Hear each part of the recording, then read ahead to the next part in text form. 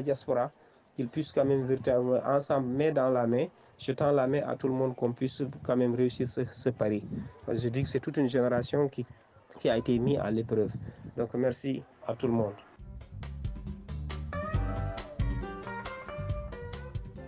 Message qui ne va pas tomber dans l'oreille d'un sourd. Restons toujours dans le Fouta et on va à Matam où l'heure est au bilan. Après les examens du BFM, la région a enregistré un taux de réussite de 89,62% au brevet de fin d'études moyennes BFM, soit un total de 4 634 admis sur 5 292 admis, a-t-on appris de l'inspection d'académie? Dans un document, l'IA signale que sur les 5 292 inscrits à cet examen, 4 634 n'ont réussi, soit un taux de 89,62%. On l'a dit, l'inspection de l'éducation et de la formation de Canel vient en première position avec 1593 admis sur un total de 1706 inscrits, soit un taux de 80 95,50% de réussite.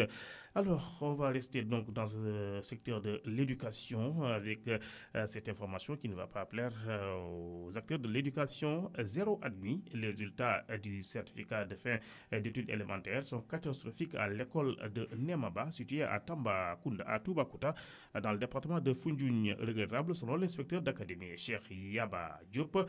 Il enseigne tout de même que dans l'ensemble, les, les résultats de sa circonscription sont bons. Rappelons que pour cette année 2023, les épreuves du CFE et de l'entrée en 6e ont été administrées le mercredi 21 et le jeudi 22 juin 2023 sur toute l'étendue du territoire national.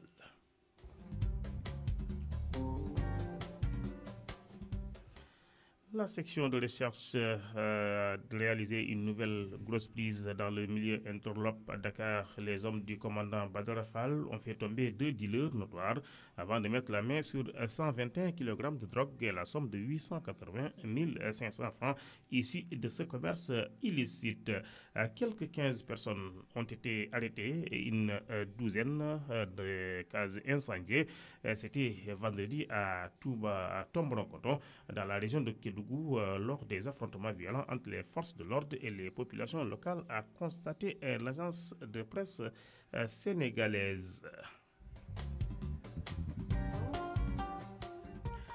Je vous le disais dans le titre du nouveau dans l'affaire de diffamation opposant le leader de Pastef Ousmane Sonko au ministre du Tourisme Mambaignan.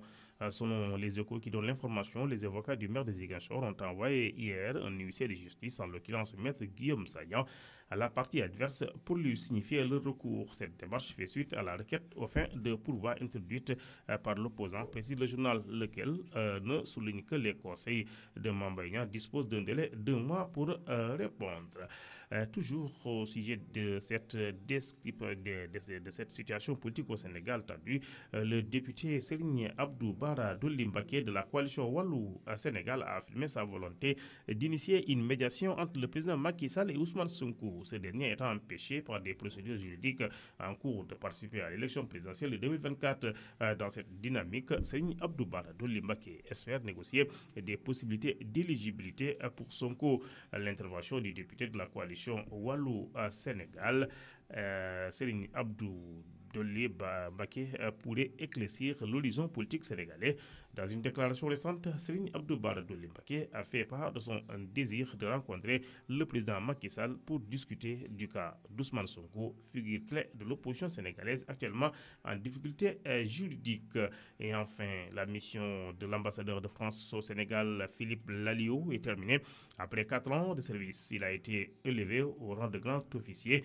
Dans l'ordre national du Lyon, le diplomate a fait ses adieux au chef de l'État. C'était jeudi passé.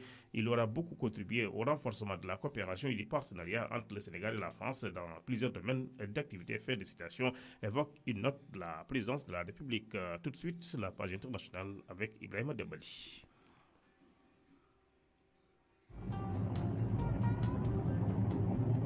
L'actualité internationale. Actualité internationale, Ibrahim Dembali, bonsoir. Bonsoir, M. Diaby. Alors, nous débutons par la Mauritanie qui a fait un cadeau pour les, les agriculteurs. Le gouvernement mauritanien a annoncé jeudi la baisse de la taxe sur les engrais et les semences importées qui passe désormais de 26% à 3% seulement. Au Mali. Au Mali, euh, la Cour euh, constitutionnelle a proclamé vendredi à Bamako les résultats définitifs du référendum sur le nouveau projet de constitution. Le nouveau texte a été adopté avec 96,91% des voix. Et nous allons passer au Burkina où des centaines de jeunes ont manifesté leur colère. Des centaines de jeunes ont manifesté dans la nuit du vendredi à samedi à la périphérie sud de la capitale. Ils ont dressé des barricades durant toute la nuit, empêchant la circulation sur la route nationale numéro 6 pour protester contre ce qu'ils considèrent comme un enlèvement de l'ex-député maire de la commune de Komsilga, située à une vingtaine de kilomètres de la capitale. Quatre hauts fonctionnaires convoqués de l'avant devant la barre à Mogadiscio. Nous sommes au Madagascar. Au Madagascar, un procès de quatre hauts fonctionnaires pour corruption a démarré jeudi 20 juillet devant un tribunal de la capitale Mogadiscio à grand renfort de publicité. C'est une première en Somalie qui occupe la dernière place du classement mondial sur la corruption établi chaque année par Transparency International. Sigellose, choléra, fièvre, typhoïde, voilà le tableau sanitaire qui hante le sommeil des Brazzaville.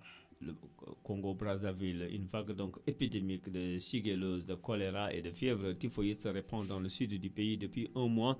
C'est à Dolisie, dans le département donc de Niari, qu'un patient a présenté ses premiers symptômes le 30 juin dernier. Avant que des cas similaires se déclarent à Pointe-Noire, à Couillé et à Buenza. Dans un communiqué publié le 15 juillet, le gouvernement a assuré prendre en compte ce qu'il qualifie d'urgence sanitaire. Et c'est tout pour cette page internationale. Tout de suite, c'est le sport. Pour le sport.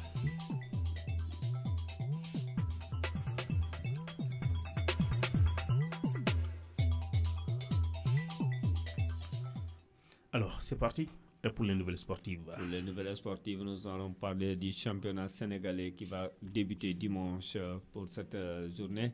AS Douane qui rencontre AS Pikin à 17h, Guédiawaye FC Jaraf, Génération Foot qui va rencontrer Dakar Sacré-Cœur, ensuite Sonakos qui va rencontrer le Casasport, le CNFC Thiès qui va rencontrer la Linguère, Lias Goré qui va rencontrer Djambar et enfin Estade qui va rencontrer Tenguet FC. Donc, ça c'est pour le compte du championnat sénégalais. Donc, euh, toujours on continue en sport pour le Big Shock, euh, le tournoi des nations. Après avoir été battu par l'Iran 5 buts à 1, l'équipe nationale de Big Soccer du Sénégal a subi une nouvelle défaite contre le pays hôte, la Russie, 6 à 4. C'est la deuxième défaite du Sénégal dans cette compétition de la Coupe des Nations de Big Soccer organisée en Russie. Pour son troisième match, le Sénégal tentera de sauver l'honneur en affrontant les Émirats arabes unis. Toujours euh, restons avec euh, les Sénégalais. Donc Ibou qui a peine arrivé au FC Metz, se signale. Le jeune avant-centre de 19 ans a marqué un doublé pour son premier match avec le club lorrain lors d'un match amical contre 3. Entré en jeu à la 60e minute euh, à la place de Youssouf Maziz, le joueur formé à Génération Foot n'a pas perdu de temps pour montrer ses qualités de buteur. En effet, après avoir marqué le deuxième but du FC Metz à la 78e minute, l'attaquant sénégalais, champion du Sénégal avec Génération Foot, s'est offert un doublé en marquant le troisième but à la 80e minute. Dans le cadre des transferts, l'international sénégalais Ilman Ndiaye, de l'OM, est courtisé par plusieurs clubs depuis plusieurs semaines a fait savoir qu'il voulait rejoindre Marseille après avoir été convaincu par le discours de Pablo Longaria. Le président de l'OM et son directeur sportif veulent faire de lui une des figures de proue du nouveau projet en Ligue des Champions en l'associant à Pierre-Emerick Aubameyang dans une attaque à deux. La prochaine étape est désormais de discuter avec son club Sheffield. Dans l'entourage du club, on ne cache pas que les négociations sont très difficiles. Ensuite, on parle de Moussa Niakhaté qui était blessé. La blessure qui est survenue juste avant qu'il ne dispute le premier match de pré-saison avec Nottingham Forest, selon des informations relayées par Carlson Castel. Le défenseur sénégalais devra rester éloigné des terrains pendant au moins six semaines. Cette absence pourrait lui faire manquer les trois premières journées de la nouvelle saison de Premier League recrue en 2023-2004 de la Premier League se profile à l'origine. Le calendrier donc pour la prochaine saison a été dévoilé. Celle-ci commencera dès vendredi 11 août avec un match opposant le champion au titre Manchester City à Burnley qui va en déplacement. Ensuite, Moussa Niakhaté débutera donc avec Arsenal le 12 avec Arsenal. Parlons maintenant l'affaire Sadio Mane, bien que des clubs saoudiens aient manifesté l'intérêt pour lui et que des rencontres ont eu lieu, aucune offre concrète n'a été reçue par le Bayern de Munich. Sadio Mane se bat pour sa chance et il est prévu qu'il soit du voyage en Asie avec le Bayern. Cependant, une décision finale concernant son avenir devra être prise fin août, ajoute le journaliste. Enfin, maintenant, parle, avant la fin, parlons Afro-Basket. Donc, l'équipe nationale féminine du Sénégal est arrivée à Kigali la nuit dernière pour les besoins de l'Afro-Basket 2023 qui se déroulera du 28 juillet au 5 août. Les Lions sont partis un peu plus tôt afin de s'acclimater afin de s'acclimater et disputer deux matchs amicaux contre le Rwanda et la RD Congo avant le coup d'envoi de la compétition.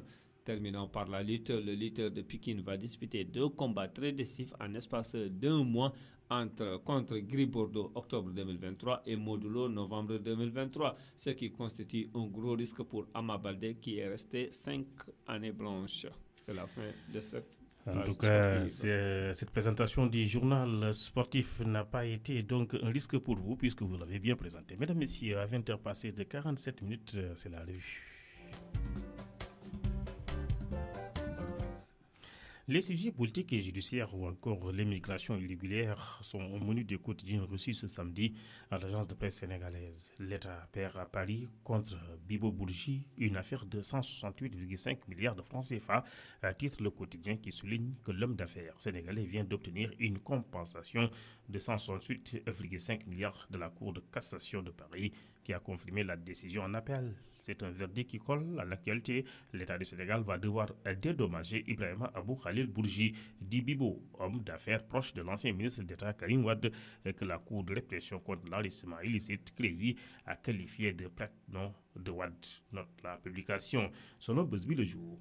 Le Sénégal doit verser 168,5 milliards de francs à Bibo Bourgi. Libération aussi s'intéresse au-dessous de l'affaire Bibo, de la première décision du tribunal arbitral de l'ONU à l'arrêt de la Cour de cassation de Paris, en passant par l'arrêt de la Cour d'appel de Paris. Selon le journal, l'État a perdu définitivement la procédure l'opposant en France à Ibrahima Abou Khalil Bouji dit. Les échos évoquent le recours en cassation des avocats du leader de PASTEF Ousmane Sonko dans l'affaire en diffamation l'opposant au ministre du Tourisme Mambaignan. Les avocats de Sonko ont signifié leur pouvoir à Mambaignan à titre le journal qui précise que M. Ignan a un mois pour produire son mémoire en défense conformément à la procédure. Pour la publication, les conseils d'Ousmane Sonko sont dans une démarche de valider la candidature de leur client à quelques ans de la présidentielle. Ousmane Sonko a été condamné par la Cour d'appel de Dakar pour diffamation et injure contre Mambaignan à six mois assorti de sursis et 200 millions de francs CFA de dommages et intérêts. Suite quotidien met en exergue le bras de fer entre l'opposition et l'État relativement au droit à la marche en mettant à sa une l'État déroule euh, l'opposition objecte. Pour cause, d'après le journal, le rassemblement envisagé par la plateforme des forces vives F24 euh, vendredi a été interdit par l'autorité administrative. En politique, l'AS évoque le ticket Abdoulaye Daouda et Ali Ndiaye et Harouna Dja pour le choix du candidat du pouvoir à la présidentielle. Dans l'attente du choix du candidat du pouvoir pour la prochaine élection présidentielle, selon des sources du journal, Ali Ndiaye et Abdoulaye Daouda Diallo ont accordé leur violon. Chacun est disposé à s'arranger derrière l'autre. Enquête aborde le drame de l'immigration clandestine et s'exclame un caste euh, un tête mortel. L'ONG Caminando Frontas avance le chiffre de 778 euh, morts ou disparus. Depuis 2006, les mêmes causes profondes demeurent et empêchent de juguler le phénomène, selon le journal.